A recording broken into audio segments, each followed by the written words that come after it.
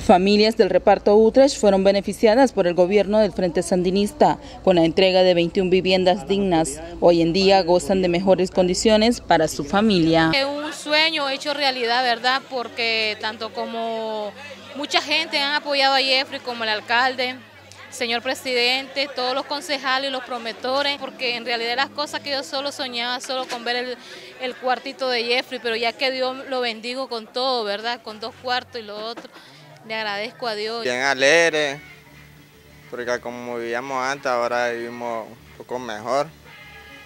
Y agradeciéndole siempre al presidente, a la compañera Rosario Murillo porque ahora sí tenemos una vivienda digna. Donde podemos llevar a cabo nuestros sueños de crecer como familia, de ver crecer a nuestros hijos. De igual manera se realizó la entrega de certificados de auxiliar básico de albañil a jóvenes que recibieron un curso por el INATEC y participaron en la construcción de sus viviendas. Nos tecnificaron y entonces nosotros participamos en la, en la construcción, elaborando concreto, ubicación de, de materiales.